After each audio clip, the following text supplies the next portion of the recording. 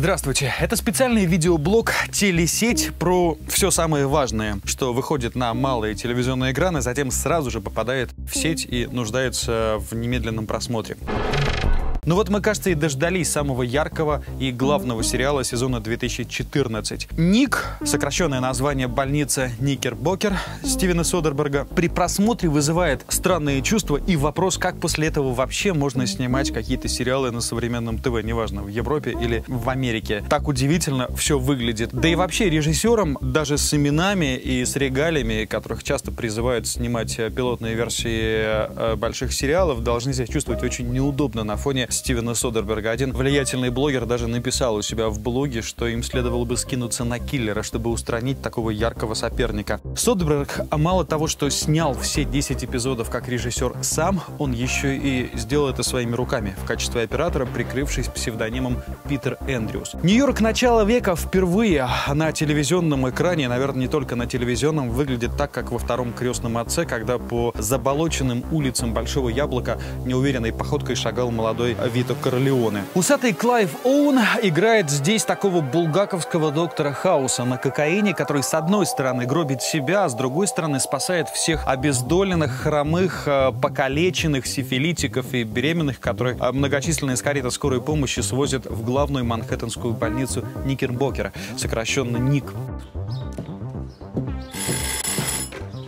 Скорая помощь? Ясно. Выезжаем!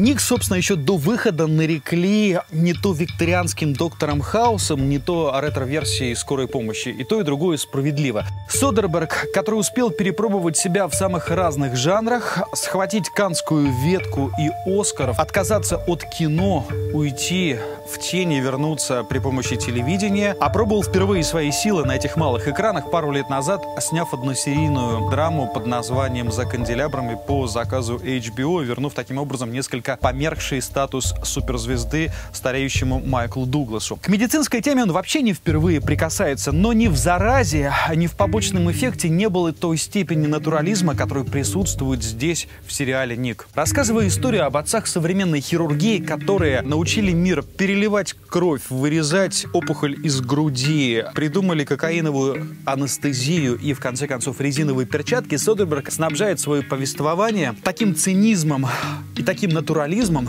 что режет глаза. Скальпель сечет человеческую плоть под электронную музыку Клиффа Мартинеса, который писал а, свои мелодии еще для трафика и драйва. Содерберг с самого начала предупредил, что в каждую серию своего сериала он вставит обязательно хотя бы одну радикальную, очень жесткую сцену, от которой будут ворочить глаза и прятать взгляды даже зрители с самыми стойкими, практически железными нервами. Если целью была показать всем вашу современность, то убитые сестры и пылающие пациенты могут слегка подпортить впечатление. Что говорить, даже у актерах на съемках, в общем, случались нервные срывы от э, вида операций многочисленных ампутаций, которые происходят на экране, несмотря на то, что каждый из них понимал, что тела на экране силиконовые, а кровь не настоящая. Именно степень убедительности одно из главных достоинств сериала «Ник», ну, естественно, режиссерское мастерство. Все-таки никто в Голливуде, в современном Голливуде не владеет так формой кино, как ей владеет Стивен Содерберг. Пульса нет. Что ж, по меньшей мере, для вас это было информативно.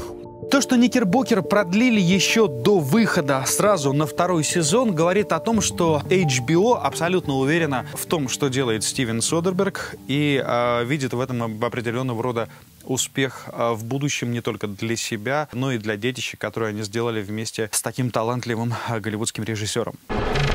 Вышедший практически одновременно с Ником, а, сериал «Манхэттен» по неволе оказался в тени фильма Стивена Содерберга.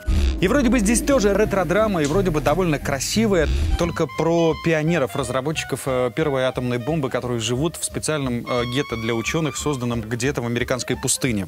Вы создаете атомную бомбу? Это такой закрытый город Горький или Семипалатинск, только в американском формате. Еще идет война, люди трудятся для того, чтобы с этой войной справиться по быстрее при помощи всякого рода технических инноваций. Ученые метутся между чувством долга, призванием и морально-нравственными нормами, которые противоречат, э, собственно, их творению, самой бомбе. Наша работа настолько секретна, что даже вице-президент не знает о нашем существовании. Вас могут отдать под трибунал только за то, что вы открыли эту папку.